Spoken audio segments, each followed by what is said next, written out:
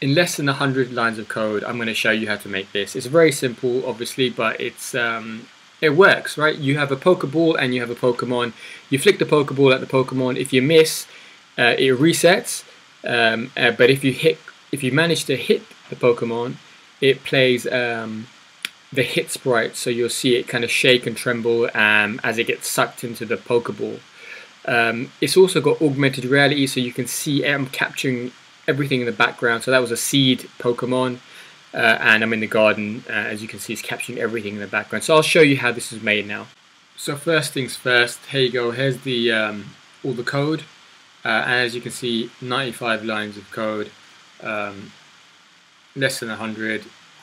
It's not it's not the best looking code because obviously if I've, I've removed a lot of the white spaces since if I didn't remove the white spaces, it would also it would also include those here. So I just wanted to show you um, that you, it's fairly it's fairly simple to do, and I'll just talk you through it um, really quickly how this works. Um, on the right hand side, we can see I've got this working in the simulator, um, so you can see it working on my computer and while the while the code is running too. Um, it's important to know though, this runs on iOS since it uses, to do the augmented, um, augmented reality, it uses a very simple line of code. It's, it's brilliant actually. I'm, I'm, I'm so impressed by uh, Corona um, since it's just this one line of code here, uh, which takes the background, a background image, um, in this case it's a rectangle, uh, that fits the full size of the screen, the width here and the height. Um, it takes that and it fills it with the, the fill of uh, the camera. So everything I'm filming with the camera is now the background, which is great. One line of code, uh, pretty much. Um, so that reduces uh, coding by a massive amount. The thing is, this only works on iOS, uh, so you can't see the background on the, on obviously on, on my my laptop because um, I'm I'm not filming anything. I don't have a, a back a camera for the back. Um, it doesn't currently doesn't work on Android um, since uh, I don't think Corona, the guys from Corona have had a chance to, to get to that point yet. Maybe they will in the future. Um, so for now, I just throw up a, a, temporary image, but you know you've seen from the video that it does work on iOS. Uh, and I've got some code here that just checks if it's Android. If it's Android, just it just has a simple garden image, which is the image that you see here. If it's not, then it uses that camera fill as you saw in that previous video. So um, uh, just quickly talking you through this, the first thing that happens is it, it makes a new ball. Um, so the new ball is this Pokeball here. If I go to the make new ball code, uh, first it checks if there's already a ball. If there's not already a ball, which is what you'll have now, it creates a, a small ball. It adds physics to it.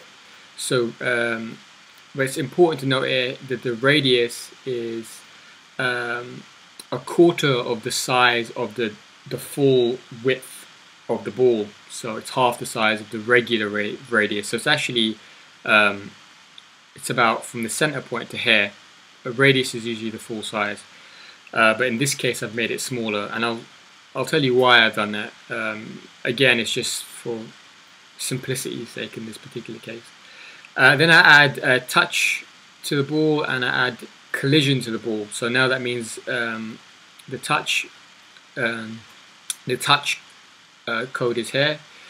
So all this does is when you're about to flick it, it remembers as soon as you tap down, uh, which is the begin function here, it recall it remembers it stores the x and y value in two variables here, start start x and start start y, and then when you let release the touch, i.e. when you flick it, it subtracts the end values of the you know the last point that you you let, you let go of the Pokeball from those values generating new values which is the amount of kind of flick we're creating. And I times that by one for now just and I throw that into and I apply a set uh, a linear impulse uh, to the ball which is how you get this kind of movement here which I'll throw now um, if I flick the ball.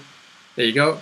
Um, so you'll notice something here. It, firstly it rotates and I get the rotation using the amount x which is the the amount I'm flicking from the left and right. So if I flick it this way um, there you go you'll notice that the start point here which is where I clicked and I let go here so it span a lot to the left and if I start here and I let go here you'll notice that it spins more to the right um, and I didn't apply any upward y uh, force, uh, force. So uh, sorry, I didn't change that really. The start and the end was almost exactly the same, which is why it just rolled.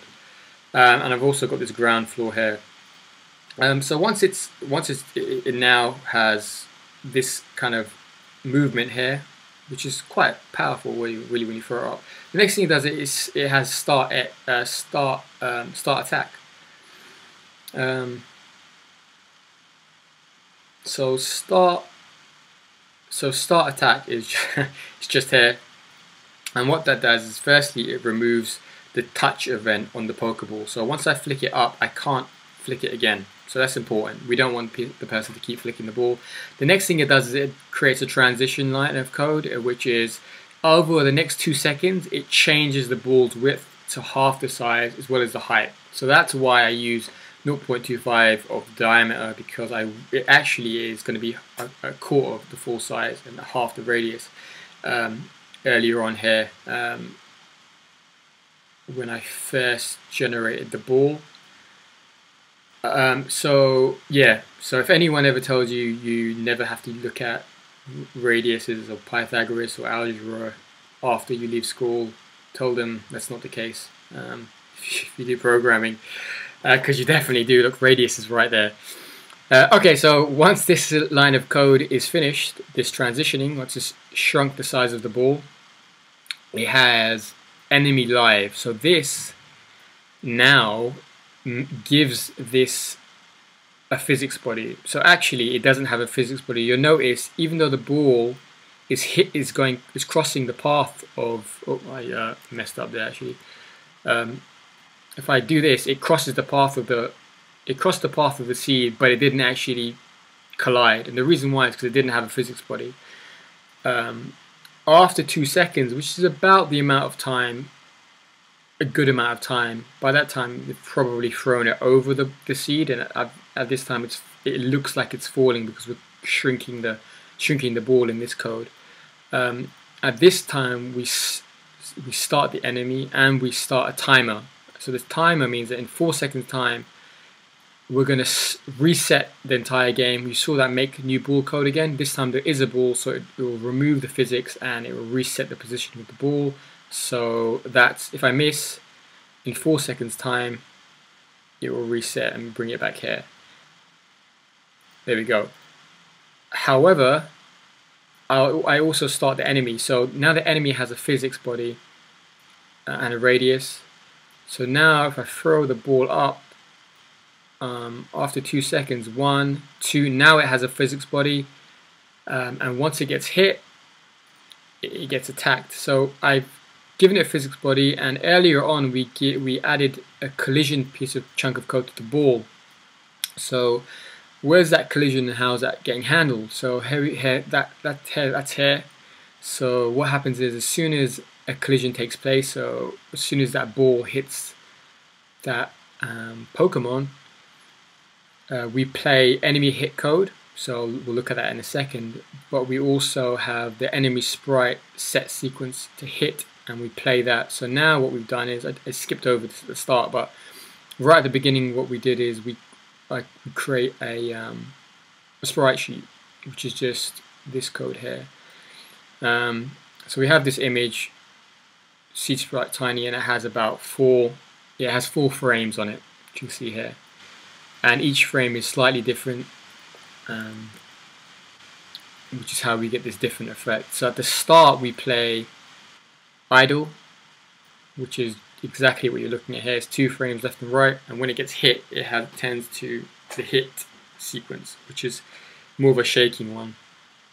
Um, so that's what happens when it gets hit. It also calls enemy hit, and enemy hit applies a few transitions. So it, it flies up into the air, and then it and then um, as you saw, it, it it changes the alpha of the oh I missed uh, the alpha of the, um, the sort of transparency of the seed, so it vanishes, uh, which you can see here. Um, and then the ball, we also remove the physics of the ball as well. Um, so we don't sorry we don't we don't remove it. We remove the collision because we don't need the collision to happen again, and um, we change the physics to statics. At the moment, so static just means it stays still, um, since that's kind of what happens in the game. Uh, I think it just stops at the, at the point that you you manage to successfully hit it. So it works. That's that's basically the whole chunk of code where you're looking at less than 100 lines of code. You've got that, uh, and of course you've got that uh, um, the augmented reality, which I think is really powerful with just one line of code. So there's loads of different things you can do with this. You could give the um, you could give that Pokemon some health. You could give yourself a few Pokeballs here, maybe three, and if you miss, you know, things get reset. You could have that Pokemon moving from left to right to make things more difficult. You could even have them attacking, and maybe you have some health. Um, but I want to show you if you're new to programming and you want to take a look at this and you want to see whether it's easy or difficult, hopefully you can follow this fairly simply. Um, and if you don't know about Corona, Corona SDK, um, I'll leave a link in the description, then um, check it out, especially if you're new to development. It's great for 2D development. I am using it on a game, so um, and if you want to know about the game, you can check out the game I'm, I'm currently making. Uh, it's a ninja game inspired by um, Japanese anime, so um, check that out if you get a, get a second. Um, and if you like this tutorial, or, or I guess very brief tutorial, uh, I didn't really go through the details, but if you liked it and you'd like to see more, let me know in the comments, or, or maybe I'll put something together. Um, but make sure you you um, you kind of share this and like this as well. It'll help uh, other people find out about it too. I think it's quite it's quite relevant um, since Pokemon's doing so well, and I think it's um, what's really cool about this is it shows you how simple the game is.